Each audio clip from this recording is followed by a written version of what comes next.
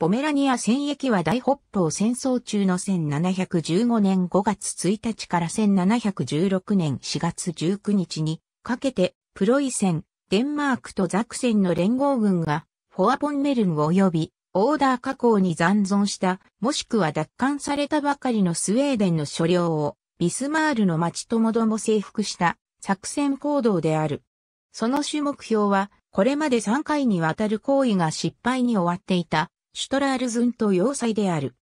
流言島、ウーゼドム島、ビスマールやバルト海の政界系をめぐる様々な一部は同時に進行した戦闘はその前哨戦となった。そしてシュトラールズンとは1715年12月23日、ビスマールは1716年4月19日に占領される。シュトラールズンとはデンマーク領となったが、早くも1720年に結ばれたフレゼリクス号の和訳で、流言島とペーネ川以北の土地ともども、スウェーデンに返還されている。その後、なお一世紀ほど後の1815年まで、これらの土地は、スウェーデンの領土として残るのである。同時に、ビスマールもデンマークからスウェーデンに返還された。この戦役には、全期間にわたってデンマーク国王フレゼリク4世とプロイセン国王フリードリヒビルヘルム1世が参加している。大北方戦争中の1711年8月29日、国王フレゼリク4世の指揮下にメクレンブルクを立ったデンマーク軍がダムガルテンからスウェーデン領ポメラニアへと侵攻した。同地のスウェーデン軍はカール・グスタフ・ドゥーカー大佐率いる8000名のみであった。また、同年9月の初頭、ロシア軍とザクセン軍がデンマーク軍に加わる。この軍団はノイマルクとウッカーマルクを経由し、ほどなくデンマーク軍に合流したのである。数的劣勢に立たされたスウェーデン軍は、それゆえ、シュテッティーン要塞、シュトラールズンとトリューゲン島に防衛線を引き下げた。1711年から1712年にわたる第一次シュトラールズンと交易戦。1711年9月7日以降、連合軍は初めてシュトラールズンとの行為に至った。しかし同軍には、銃砲もなく、約3万名の兵力を養うだけの兵糧も不足していた。同年12月8日、シュトラールズントを支援するべく、スウェーデン軍6000名が流言島に上陸すると、連合軍は1712年1月7日、17週間に及んだ包囲戦を打ち切って撤退し、メクレンブルクで東映に入る。1712年5月、改めてロシア軍がポンメルンに侵攻し、ザクセン軍7000名とロシア軍3万8000名の連合軍をもって、シュトラールズントに対する2回目の包囲戦を敢行した。しかし、同年9月26日、スウェーデンのマグヌス・ステンボック元帥率いる1万名が、リューゲン島に上陸すると、シュトラールズントの攻略は不可能となり、包囲戦は再び失敗に終わった。しかし、ステンボック元帥のための補給物資は、リューゲン沖の海戦で、スウェーデン軍の輸送艦隊が壊滅した時、デンマーク海軍によって沈められた。それでも1712年の末、元帥は連合軍をポンメルンから撃退し、戦線をメクレンブルクやホルシュタインに移すことに成功する。その後、勝利を収めた連合軍がホルシュタインから再びポンベルンに侵攻すると、1713年6月には、シュトラールズントが3回目の行為を受けた。しかし、それは10月に中断されている。同年8月には、アレクサンドル・メーンシコフ将軍率いるロシア軍とザクセン軍が4300名の守備隊を要するシュテッティーンへの攻撃を始めていた。この町は同年9月13日、ザクセン軍が工場砲で実施した8時間にわたる砲撃によって町の大部分が破壊された末、降伏する。同年10月6日、交渉と連合軍に対する40万、ライヒスターラーの支払いを経て、プロイセンの部隊がシュテッティーンに入場した。その間に、スウェーデン領ポメラニアは、シュトラールズン島を除いて、完全にデンマーク、ロシアとザクセンの連合軍に征服され、中立国であるプロイセンに占領されていたのである。スウェーデン国王カール12世が自身の頭越しに結ばれたこの協定への賛同を拒絶したため、プロイセンは上調な交渉の末に中立的な外交姿勢を捨て、まず1714年6月12日にロシアと条約を締結し、フォアポンメルンの領土をペーネ川まで最終的に獲得する確約を得た。後に同じ意味の条約をデンマーク、イギリス、ザクセンの各国とも取り交わしている。1709年、ポルタバの戦いで壊滅的な敗北を喫したスウェーデン国王カール12世は5年間をオスマン帝国で過ごした後、1714年11月11日からスウェーデン領の要塞都市シュトラールズントに滞在していた。彼は当時オスマン帝国に属していたルーマニアからポンメルンまでの 2400km を15日間で一気に駆け抜けることに成功した。町の住民の歓声に囲まれつつ、事態を見誤っていたカール12世の目標は、ポンメルンにおけるかつての勢力関係の修復であった。その指導のもと、最大1万名が参加した要塞施設の補強工事が促進される。さらに彼は小規模で装備も貧弱ながら、自身に忠誠を誓う軍団を招集した。1715年1月、カール12世は作戦を開始し、シュトラールズンと要塞を保全するべく、流源島の南岸と東岸に兵を配した。同年2月23日には、プロイセン軍が20名の守備隊を配置していた、ボルガストを占領する。4月22日、スウェーデン軍は、ウーゼドム島に上陸すると、プロイセンの小部隊を圧倒した。これを受けて、フリードリヒビルヘルム一世は、スウェーデン公使を追放し、計画されていた戦役の開始を指示したのである。連合軍は、プロイセン、ザクセンとデンマーク各国の軍から構成されていた。プロイセンは、この同盟の中で自軍の数的優位を背景に、陸上で遂行される作戦において、主要な役割を担った。これに対し、デンマークは、その強力な艦隊によって、海上の指揮権を託された。これら3カ国の軍は、常に各国の司令官が他の同盟国の同職と協議した上で運用されている。プロイセン1715年頃のプロイセンの敵団兵。1715年頃のプロイセンの強行騎兵。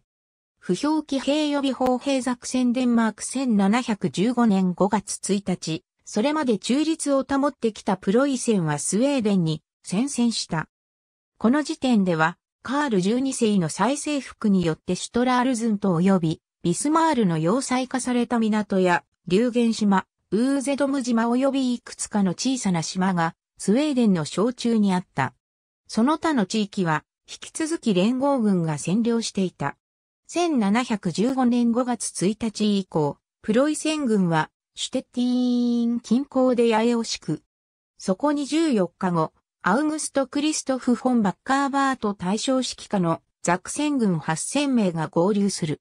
プロイセン軍の上級指揮権は国王フリードリヒ・ビルヘルム一世が自ら担った。ゲンス・ヤンハルト・デッサウ公、レオポルト一世はその下で指揮を取る。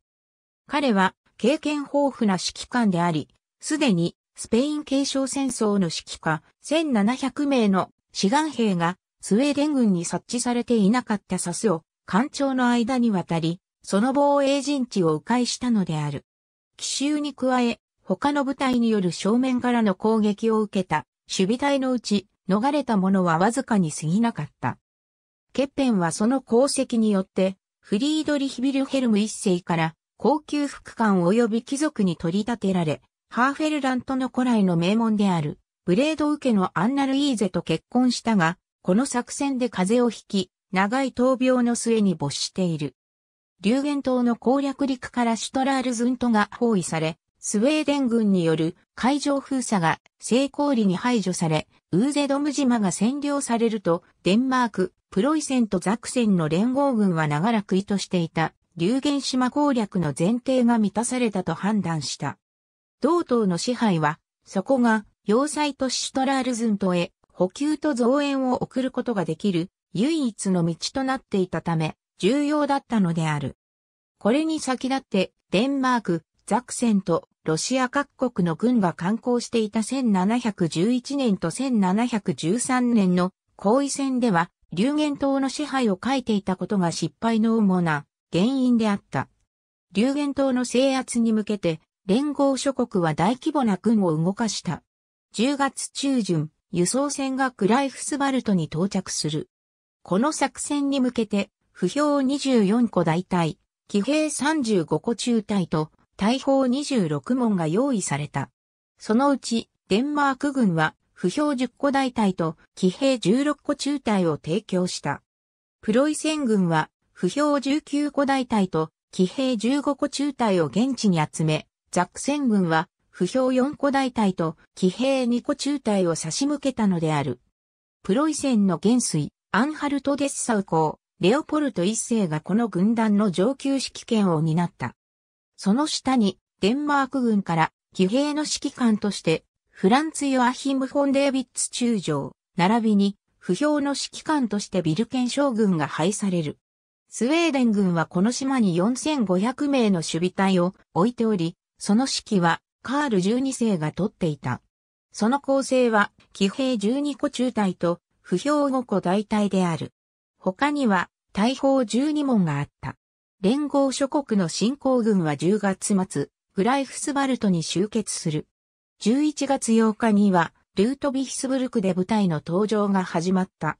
プロイセン国王、フリードリヒビルヘルム1世と、デンマーク国王フレゼリク4世も、この上陸に参加する。11月11日、輸送船500隻に分乗した進行部隊は、セーステッド提督率いるデンマーク艦隊に護衛され、ついに流言島へ向けて動き出した。この艦隊は、グラーボーに近い島の南端、パルマーオルトに向かう。しかし、連合軍にそこで上陸する意図はなかった。なぜなら、カール12世率いる守備隊の全軍が同地で準備を整えていたからである。本来はより東側にある無防備な場所で陸に上がる予定であったが、激しい嵐が巻き起こったため、艦隊は再び順風に恵まれる11月15日まで方向転換と待機を強いられた。首都冷蔵における連合軍の上陸とその編成、並びに続いて刊行されたスウェーデン軍による攻撃の地点を描いた絵。上陸の可能性をもってスウェーデン軍を脅かすべく騎兵を乗せた船は一時的にパルマーオルトに止まった。セーステッド中将は不評とともにグライフスバルト湾のシュトレーゾーへ向かう。雨と霧のおかげで、この動きはスウェーデン軍に察知されなかった。シュトレーゾーに到着した後、中将は騎兵を乗せた残りの船に信号を送り、自らに続くよう指示する。騎兵の船が去ったのを見たカール12世は、待つことなく、即座に2000名を率いて、シュトレーゾーへ向かった。11月15日、悪天候をついて、新興軍が首都冷蔵への上陸を敢行する。部隊の揚陸は迅速に行われた。そこにいたのは、スウェーデン竜騎兵の小部隊のみである。このため、上陸中の部隊は何らの抵抗も受けなかった。2時間のうちに、不評1万名と砲兵が揚陸を果たす。アンハルトデスサウ校の指揮下、すぐに、陣地、障害物と、巨馬の設置が始まった。夕方には、その作業もほとんど終わる。不評に比べれば、騎兵の揚陸は進まなかった。夜が来るまでに上陸を果たした騎兵はここ中隊に止まる。陸に上がる際、多くの兵士が水に濡れた。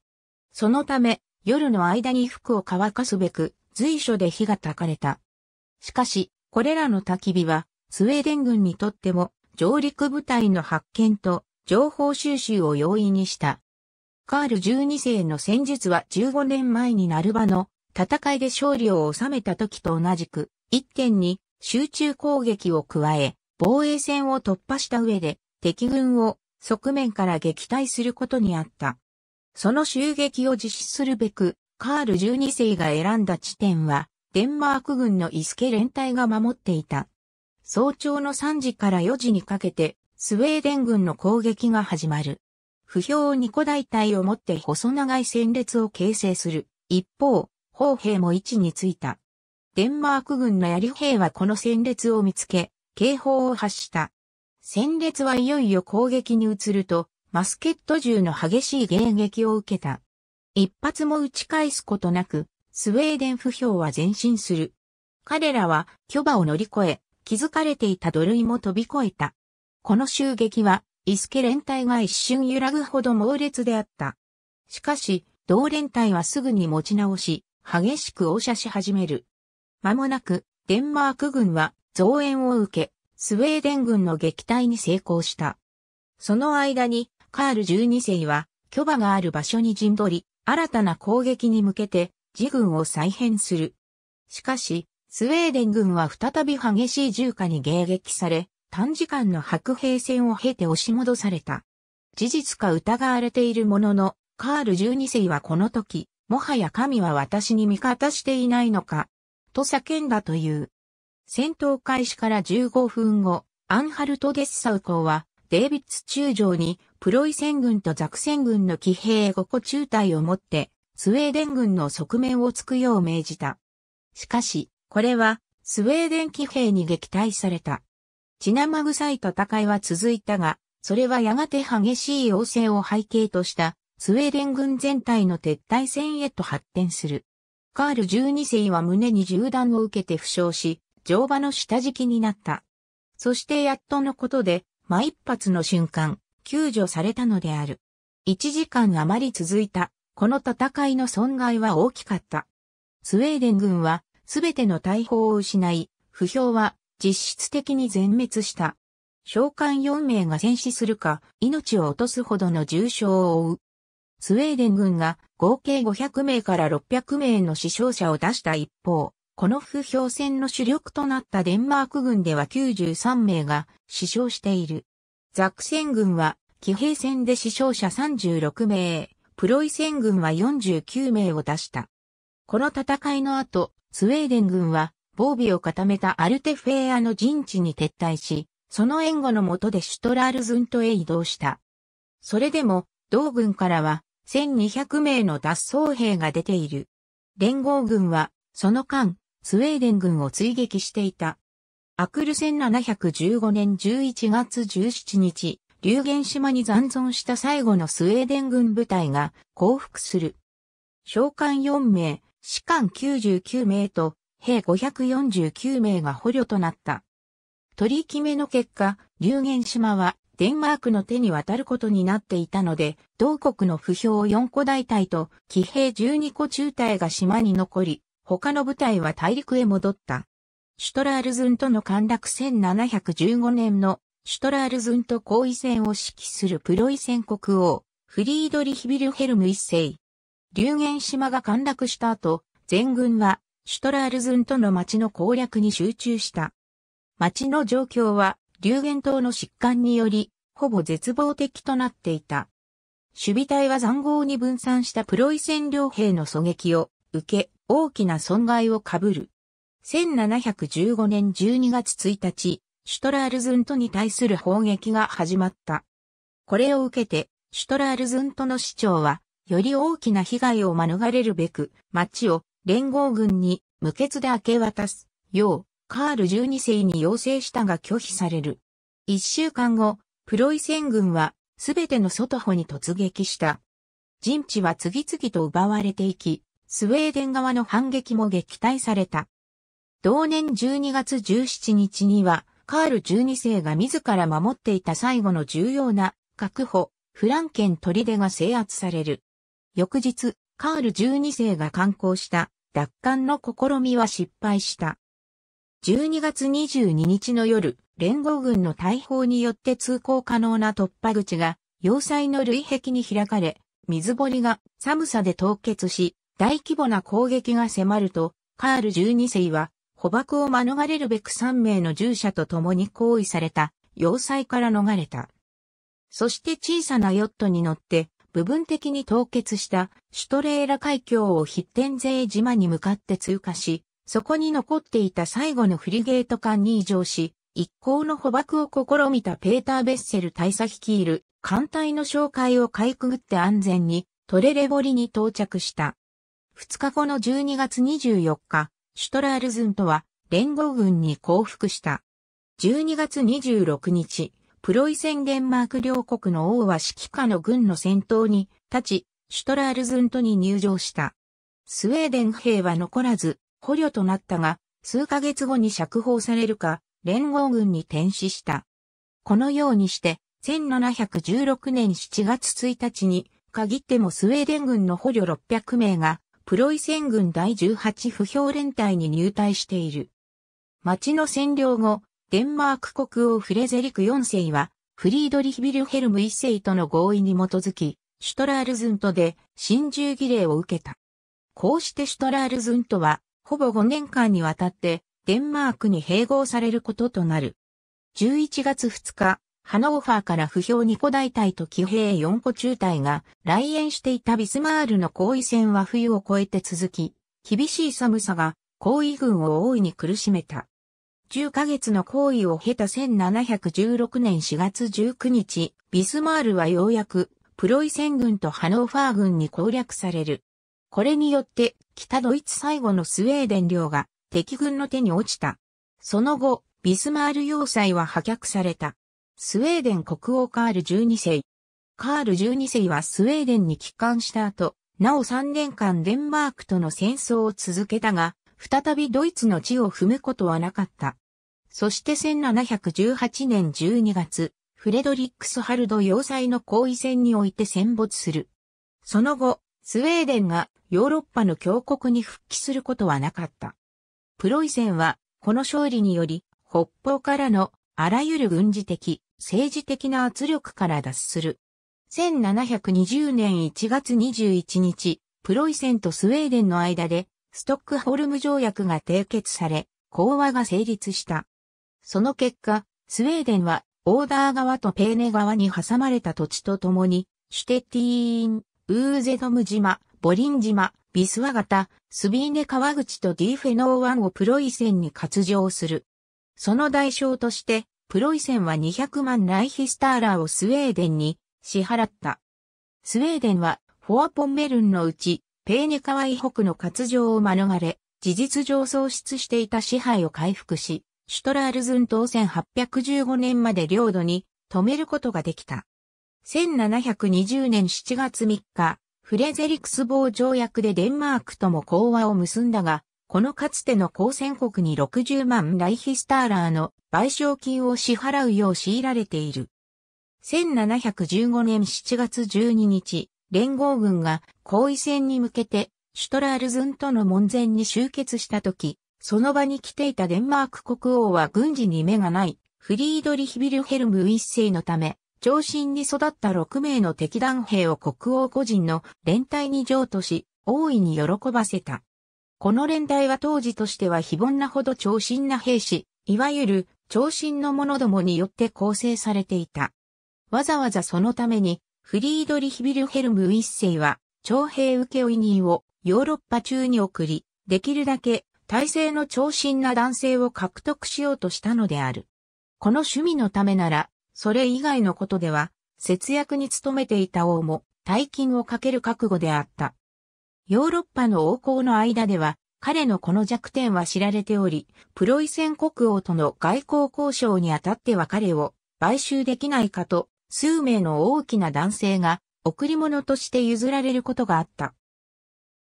フリードリヒビルヘルム一世は、実際に交渉相手の目標達成に協力したことが何度かあり、その際に自身の収賄を許している。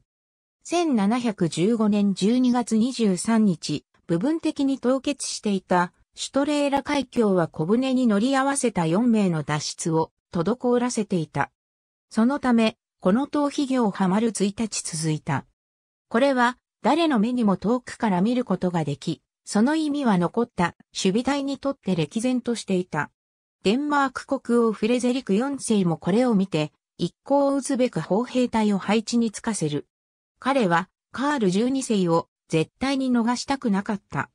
シュトラールズントで捕らえられなければ命を奪うべきだと考えていたのである。プロイセン国王、フリードリヒビルヘルム1世は、カール12世をその軍人としての美徳ゆえに、とても尊重していたとされ、辛抱強くフレゼリク4世と言い争い、カール12世への砲撃を止めさせようとしたとされる。それでも砲兵隊が射撃を続けると、軍人王はプロイセン軍のある連隊を方向の前に進ませた。そして、まず我々を撃たれよ。と叫んだという。スウェーデン国王カール12世を記念した名版。1715年、カール12世は、プロイセン、ザクセンとデンマークの軍を相手に、シュトラールズントで防戦に努めていたとき、しばしば、フランケン門のある壁のくぼみに身を横たえ、休息を取ったとされる。スウェーデン産の石灰岩で作られた一枚の名板が、下記の碑文とともにそのことを記念している。ブラニッヒ2000、P53、EWE1984、P194、AB ラークと1996、P99、ABCEWE1984、P196、ヤニ1967、P634、本校で挙げる数字は、すべてカートやニチョ、ゲシヒテデアプラスケンアーミーフォーム15、ヤーフンダーットビス1914、バンド1の P635 による。AB ブラニッヒ2000、P57、ヤニ1967、P638、フリードリヒカール・ゴットロープ・ヒアシンクチョ、ヒリシュリトレリシアス・ハンテブク・ビルームタウント、デンクワーディジェン・ペソニン、ベルシャ・インデム18、ジャフンダーットガシュトロベン・ジント、バンド14、ライプツヒ、1810年、P126AB ヤニ1967、S639、AB ヤニ1967、P640、ラークト1996、P101、ウィキメディアコモンズには、パーマンフェルドザグ1715、1716に関するメディアがあります。ありがとうございます。